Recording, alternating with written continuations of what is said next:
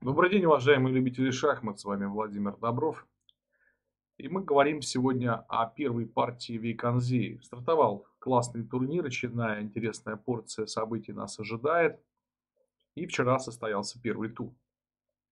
Магнус Карлсон играл белым цветом, обыграл подающую надежды Альризу Феруджо.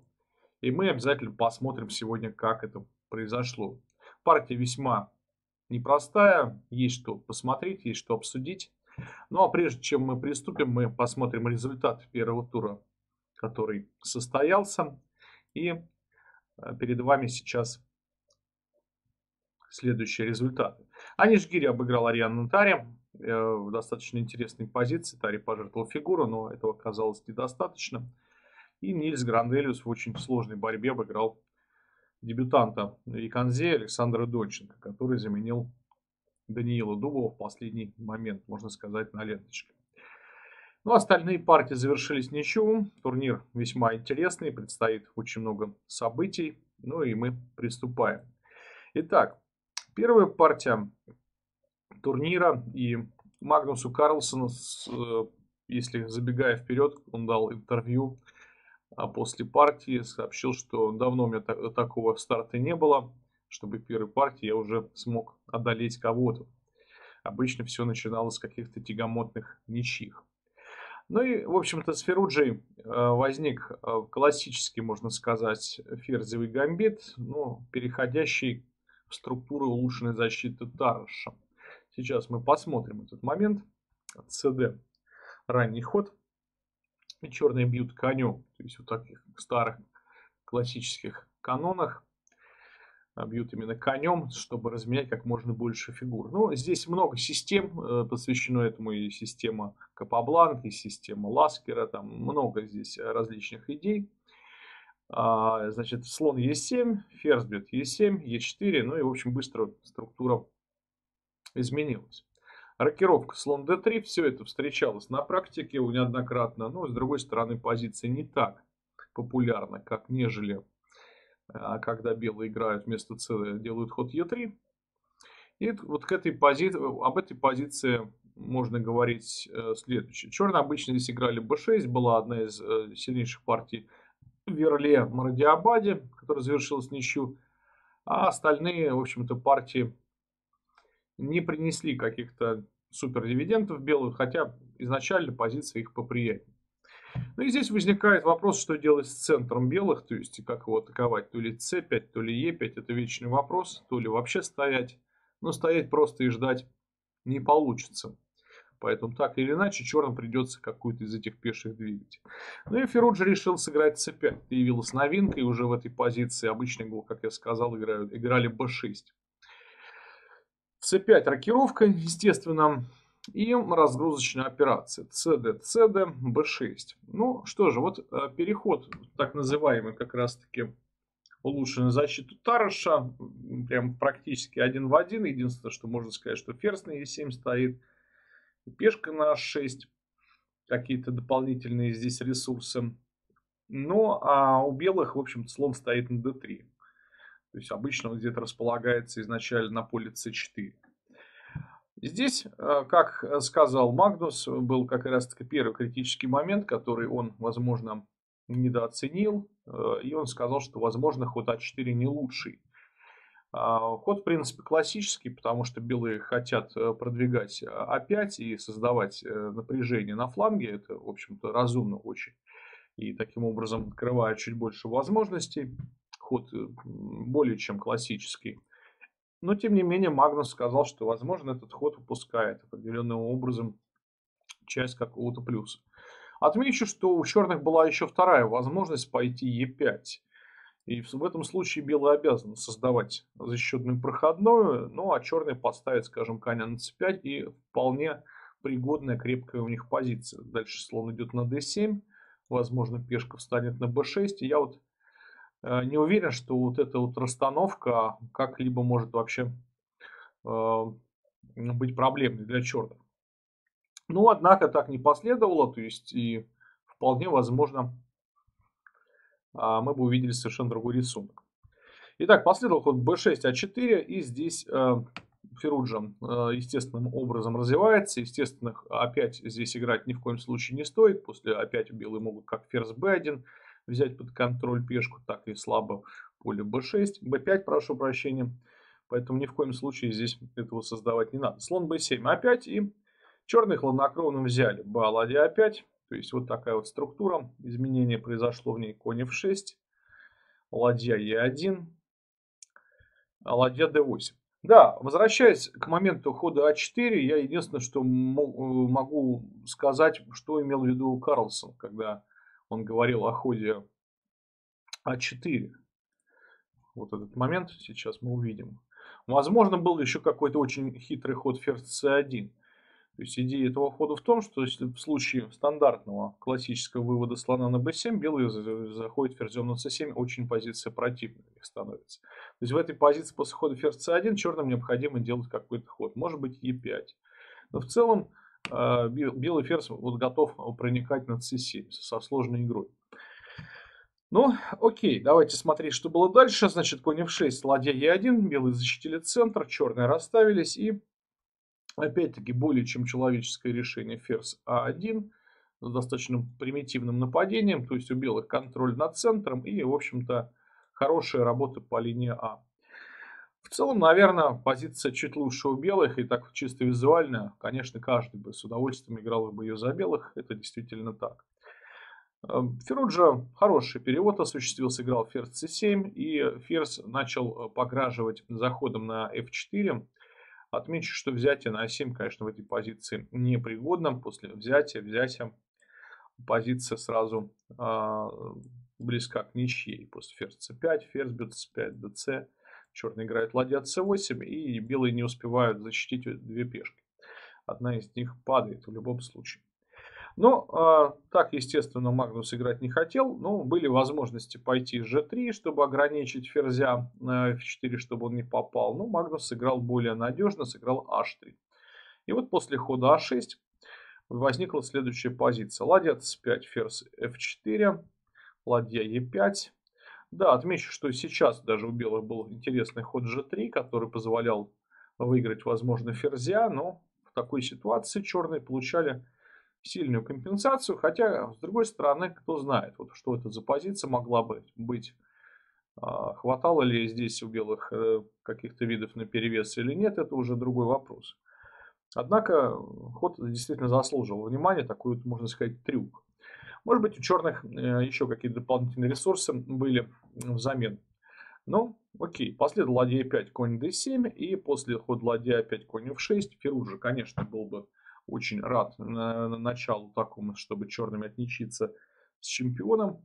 Но Магнус был э, настроен очень решительно и сыграл d5.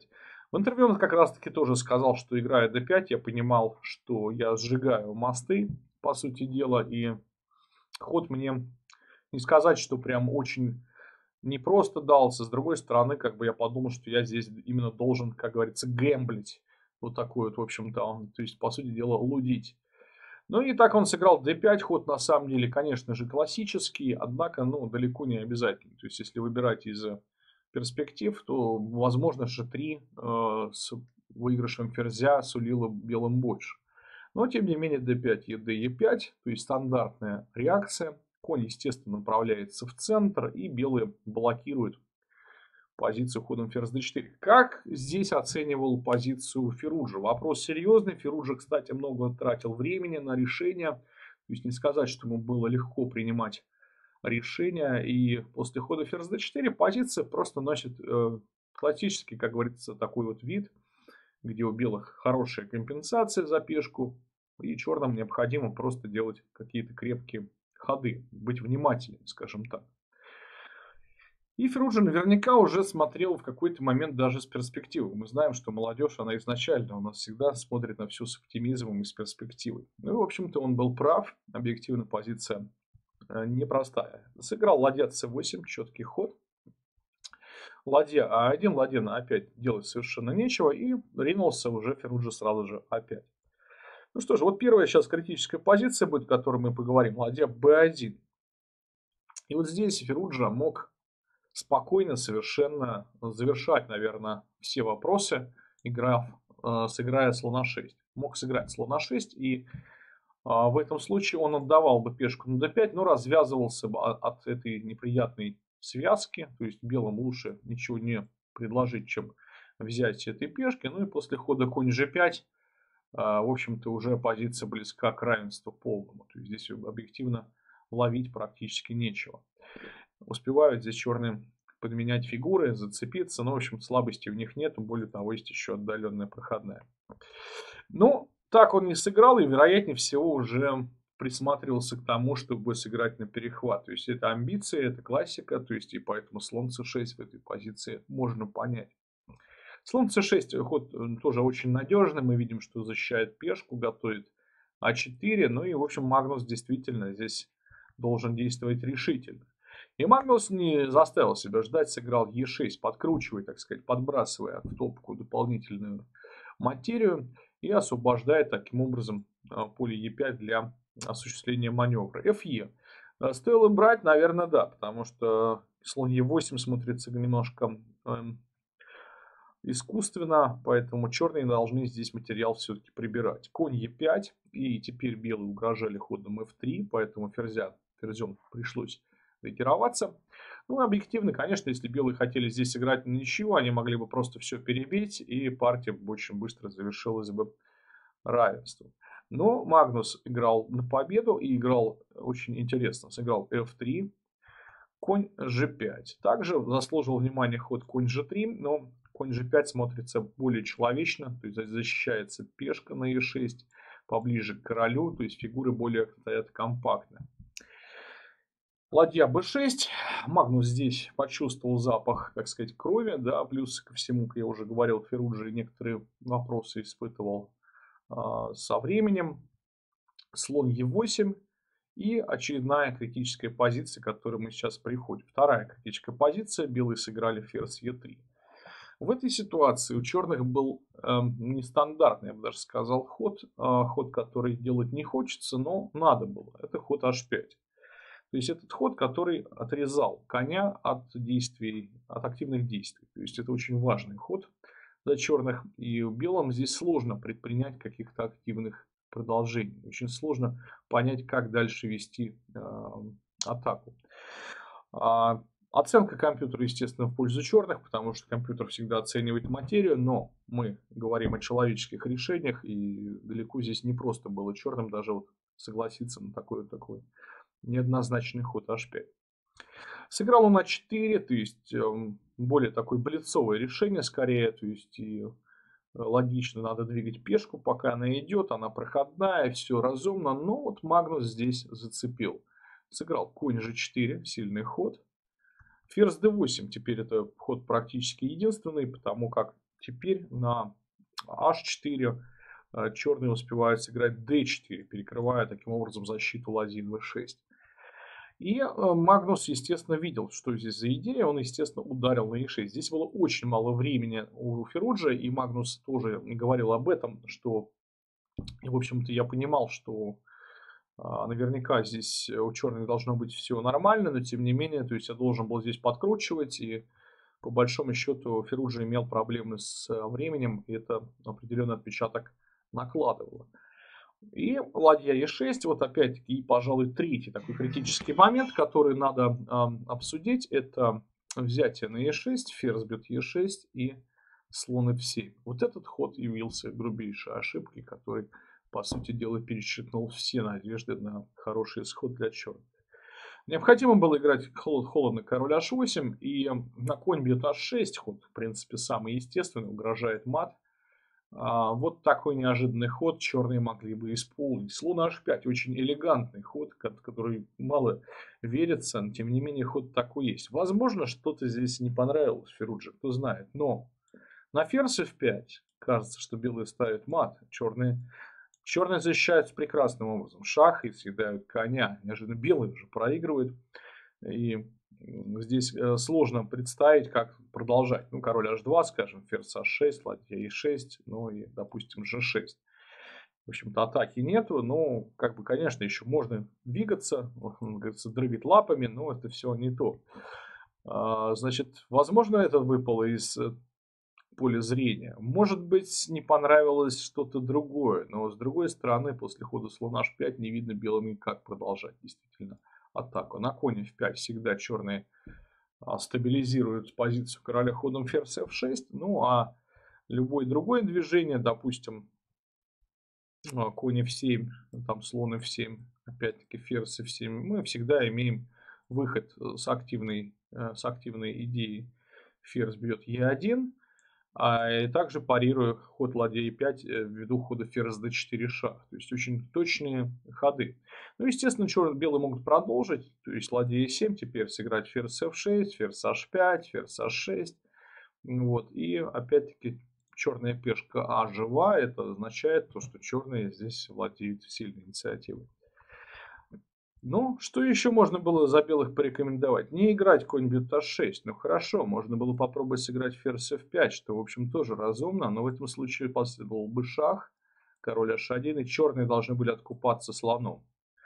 И здесь э, после размена, э, естественно, э, черная пешка начала бы очень сильное движение. И, естественно, пешка на a2, которая приходила бы мгновенно, она обеспечивала бы черным как минимум ничью. А, но так не последовало, а последовало, как я уже сказал, э, зевок, можно сказать, грубейшая ошибка. По сути дела, Ферружи сделал только две неточности в партии и одну ошибку. Ну вот, э, пожалуйста, получите. Конь бьет h6, gh ферзь h6, очень красиво. То, что грозит мат в три хода, там буквально в 4 грозит слон h7, а на ферзь c7 последовал мат не менее симпатичный. Шах, король f8, шах слон g8 и ферзь h6 шаг. И не дожидаясь э, ответа, э, не дожидаясь, точнее, э, продолжения здесь, как говорится, постановки мата, ферзь уже сдался. То есть, потому что как ферзь g7, ферзь d6 ведет к простому мату в два хода, так и король f7 ведет к не менее симпатичному мату пешкой или слону. Ну вот такая вот достаточно классная, на мой взгляд, партия, которая э, была и стратегической, и позиционная, комбинационная, комбинационная, прошу прощения. А, но и, в общем-то, было весьма интересно. Феруджа показал, что он, в принципе, старался, что он боролся, однако этого не хватило. Магнус прекрасно начинает турнир решения давались ему достаточно легко, и несмотря на то, что он говорил, что я играл достаточно скверно, тем не менее мы видим, что результат оказался очень хорошим. Ну что же, посмотрим, что будет в следующих партиях, в следующих э, раундах. Э, смотрим за Вейконзеи, поддержим э, команду Ческом.ру и до новых встреч. Пока.